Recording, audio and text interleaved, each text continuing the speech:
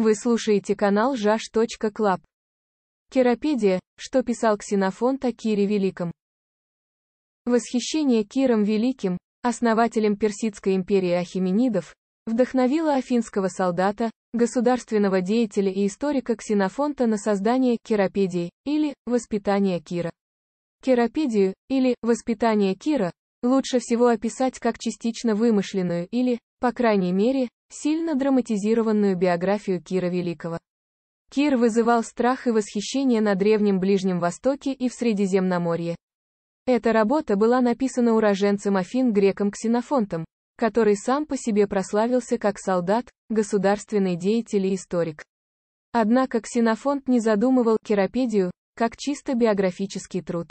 Вместо этого она была предназначена для того, чтобы проинструктировать своих читателей, в первую очередь греческую элиту, в вопросах как политики, так и морали.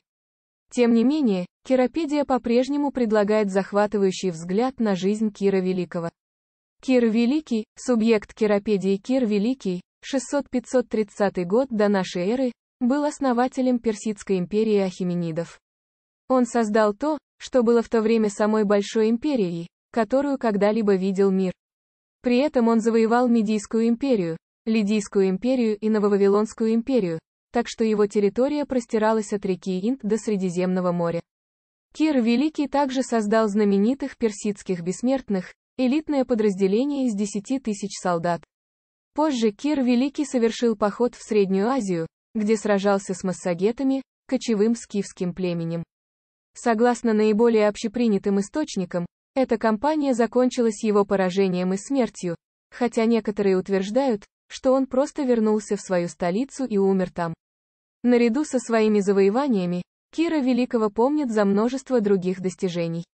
Он создал эффективную систему управления своей империей, разделив ее на сатрапии или административные единицы, контролируемые чиновниками, известными как сатрапы, которые обладали широкими полномочиями.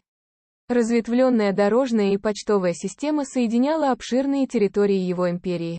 Он также издал указы, установившие политику религиозной терпимости и позволившие евреям вернуться из вавилонского изгнания.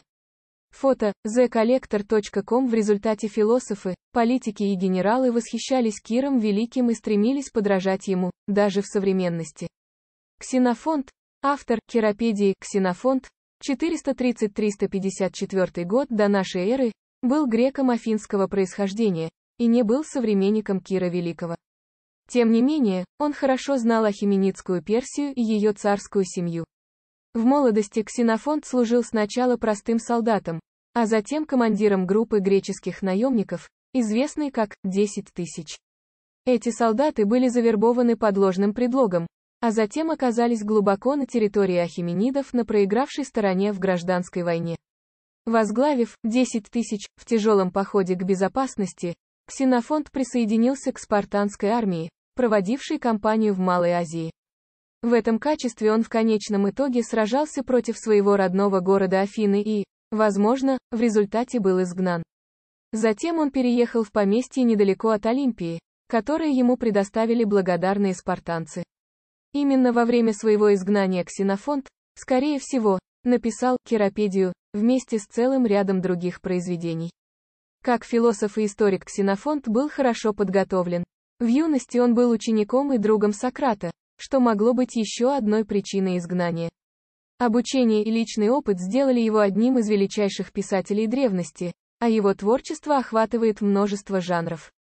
Его многочисленные таланты в полной мере представлены в Керапедии, работе, которая также охватывает несколько жанров и не поддается классификации.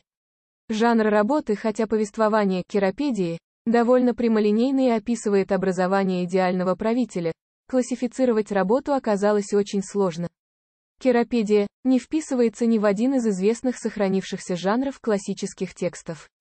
Его по-разному интерпретировали как биографию, ранний роман, манифест о лидерстве или философский труд. Мотив Ксенофонта при написании Керапедии не ясен, хотя, похоже, он намеревался написать эту работу, чтобы дать своей аудитории моральное наставление. При этом его ближайшим литературным эквивалентом будет средневековый жанр «Зеркала для принцев». Эти тексты служили своего рода учебником для правителей по аспектам хорошего поведения и управ. Продолжение читайте на сайте jash.club.